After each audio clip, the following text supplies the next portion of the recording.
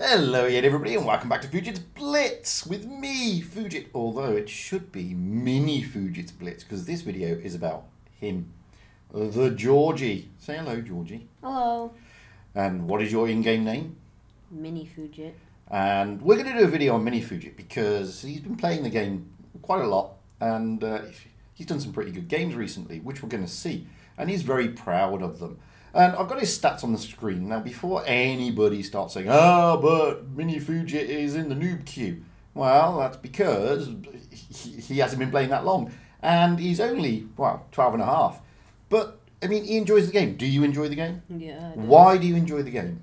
Because it's a fun way to basically, how, how do I say this? Not experience reality, but having fun at the same time. So, do you have favourite tanks? Yeah. And what are your favourite tanks? Uh, the Maus, the Grail, and the E100. And you have none of those tanks on your account? Yeah. So, they're your favourite tanks, yet you've never played them on your account? You played them in an open test, but never on your account. How can they be your favourite tanks if you don't play them? No, but I, I, I did play. I did play them on uh, in the training rooms. Remember on the birthday. Yeah, but that's not real. So, let's be honest. What are your what tanks do you generally play a lot on your actual account? Um, the Chimera, because I love that tank. The Chieftain, uh, T ninety five, and the Skoda uh, T fifty six. And I I also am grinding the um, VK hundred P now. Okay. So anyway, we've got his stats up. As you can see, he's done three thousand two hundred and twenty-five battles he has a 50% win rate, an average damage of 968, with his most damage being 4,290.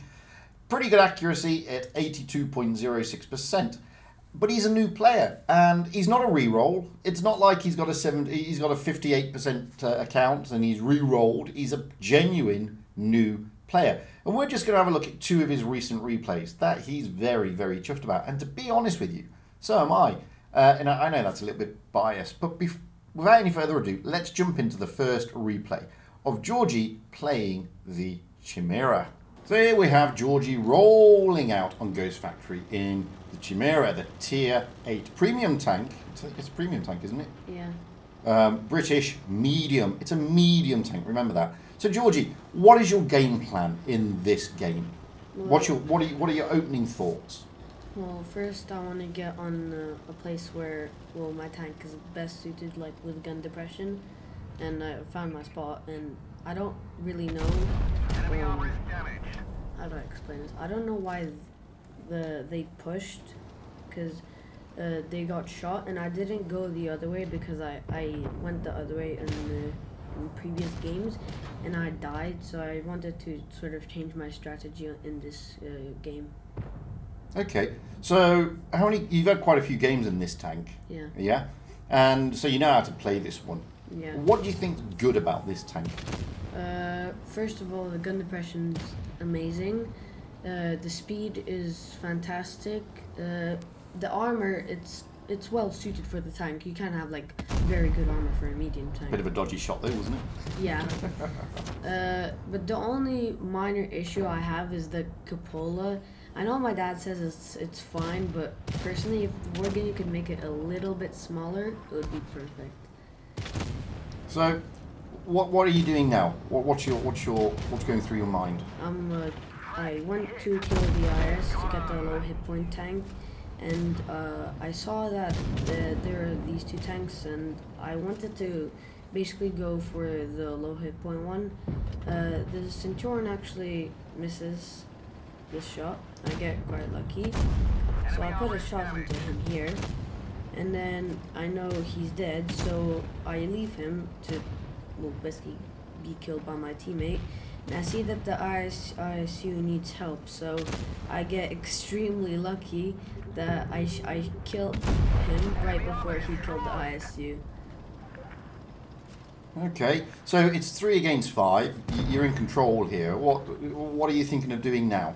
Well, I'm seeing I've seen this tiger, so I put a shot into him now because he had turned his turret, and I know that the KV4 can take care of him, and I see that, that the 53 TP needs help with the Löwe. Uh, so I leave the KV4 to deal with the tiger for now. and I go help the the 53 TP. This is Good shot. I, I, I, I didn't aim. I'm gonna be honest. That was a horrible shot. This time I do aim, and uh, keep the, the loot was eventually taken out. And here, I don't go for the tiger. I go for the um, I go for the Borsig because Well, you're aiming at the tiger, no, no, and no. you shoot the tiger. Yeah, I shoot the tiger. I reload in time because that that ISU he's gonna get killed if he if he goes for the Borsig. So I, want to help him out. So I, yeah, I don't aim, but I hit the shot. Just out of interest, why didn't you use HE on the Borsig?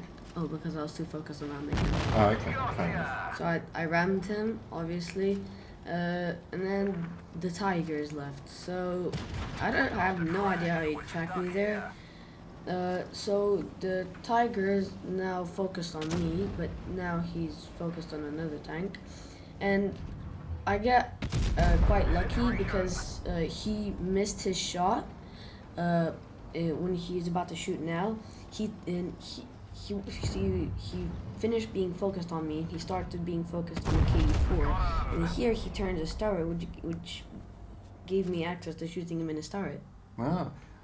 So you get five kills, 3,350 damage. You happy with that game? And, of course, you get a mastery. Well done. Where's your first mastery on this tank, yeah? Yeah. And, of course, you get some decent credits. But here's the interesting thing, uh, boys and girls. So, on the other side, I'm not going to show you, but uh, they're all, two of those players are 70 percenters, okay? Admittedly, they've got low battle counts, but they're 70 percenters. One's a 76 percenter, one's a 72 percenter. Now, that could be one of two things. It could be that they've just come out of their bot queue, and the bot's queue does allow you to get pretty inflated win rates, or they could be re-rolls. The thing is, we went through the teams. I'm not going to show you them. And the team that Georgie was facing against, they were far better on paper than Georgie's team.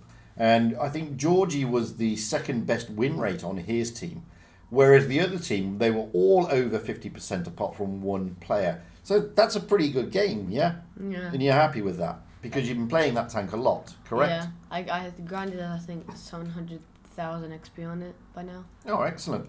So let's have a look at your next replay. Okay, so this is the next replay, and Georgie is in a tank that I personally don't like, the T28 Defender. Another premium tank, this time a TD, sitting in the American line.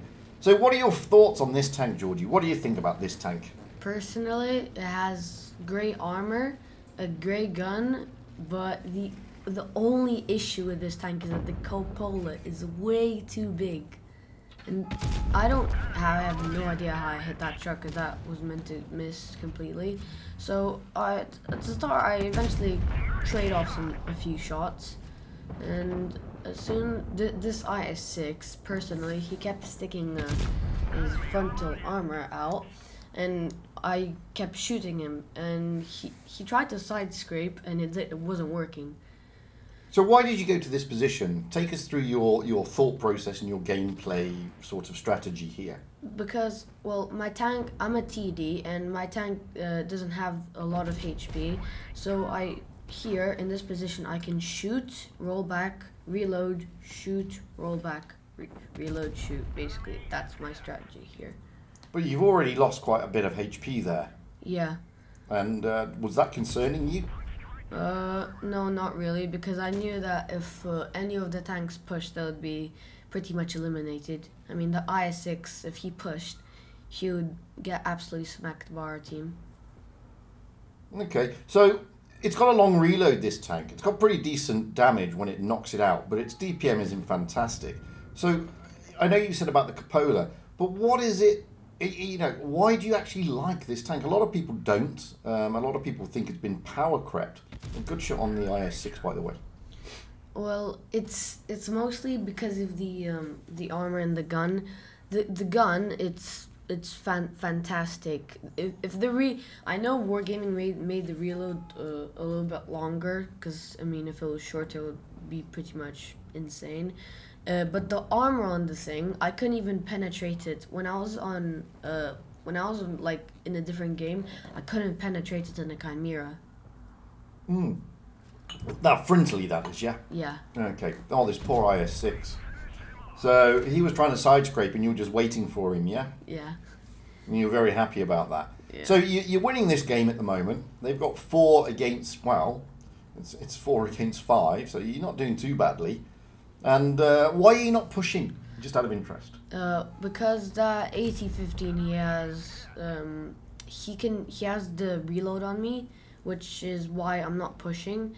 And there plus there's an uh, an AMX there, which who also has the reload on me, but he doesn't have the armor. Plus I'm not gonna risk shooting him, cause uh, I'll lose I'll lose a, a shell.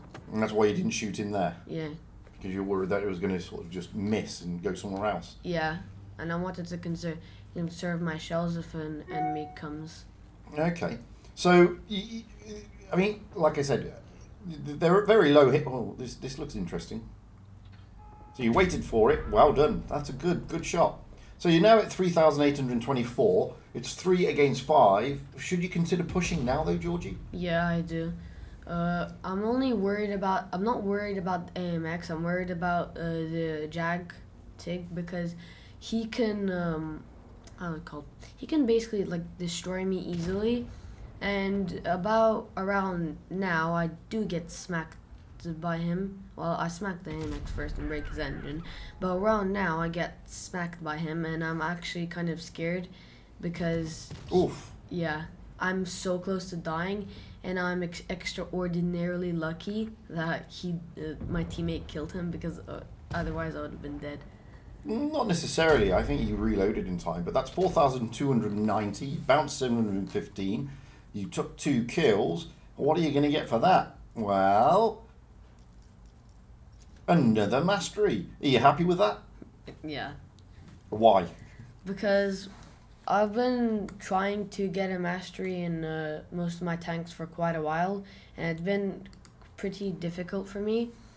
And th- this this is a very big achievement for me because the first mastery I ever got was in the Excelsior. and I got lucky because I was in a low tier game, but as I'm going up t- uh, up the tiers, it's starting to get um, like I'm starting to play with real players, and it, it's it's a very big achievement for me when I get a mastery. Well, again, congrats. It's a great play.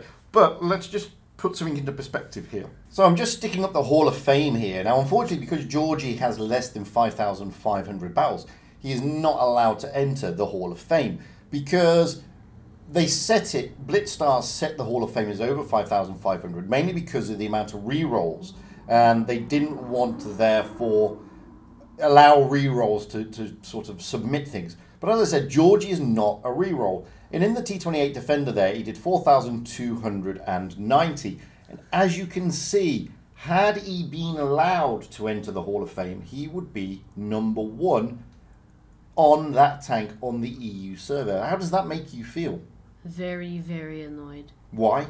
because um, you've entered the Hall of Fame quite a while, yeah. Mm-hmm. and this is pretty much the first tank I've uh, played which could have entered the Hall of Fame, but since uh, but since um, I'm not allowed to go in because I have below five thousand five hundred battles, I'm not in the Hall of Fame, which is pretty annoying. It's pretty annoying. Yeah, I can feel for you there. So, great game though, and had you have had the battles, it would have been in the Hall of Fame. So, very, very unlucky. So, I mean, personally, really, those are two fantastic games. It's really unlucky that he, he can't put the T28 Defender into the Hall of Fame. It would have been a crowning achievement, and it would have been something that Georgie would have been really chuffed about. But he's an up and coming player, and as a, as a new player and as a young player, it looks like he's getting a good grasp of the game and how it should be played. Which, to be perfectly honest with you, some of the uh, more experienced players out there don't seem to have the same kind of uh, awareness within the battle. I'm, I'm pretty chuffed, and I know I'm biased because obviously I'm his dad, but I think you'll agree that his gameplay there was pretty spot on. He, he did the right things, he played the right moves, he's got his tactics down, and he's growing into a pretty decent player, despite what his win rate may say. What do you think, Georgie, about the game and, and how you're progressing? I'm pretty I'm pretty happy with them because I mean, since day one, as I started playing this game, um, I've been quite obsessed with getting a mastery as soon as I knew what it was. I tried to get one in the Matilda, but I failed. Unfortunate. Anyway, well, that has been Mini Fugit's, uh, well, two replays that he's very happy about. I've been Fugit. I'd like to hear more about you. What do you think? How, how do you rate his awareness in his battles? I mean, I'm pretty happy with them. I think they're going, you know, I think he's playing exceptionally well. But uh, I'll leave the last word to Mini Fugit here. What have you got to say to everybody out there? If you're a new player and you really want to get to the top, you need patience. A lot of patience. And in some battles, I don't have that, but in some, like this one, I do. And that that's what you need patience because pay, if you wait for something, if you do something good, and something good will happen to you. And this is an example of that. Anyway, like I said, two great games, and uh, congratulations to Mini Fugit. So until the next time, guys, love to hear your comments on this one, and until then, stay the usual stuff.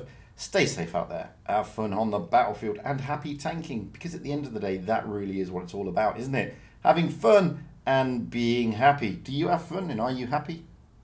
Villasonidos.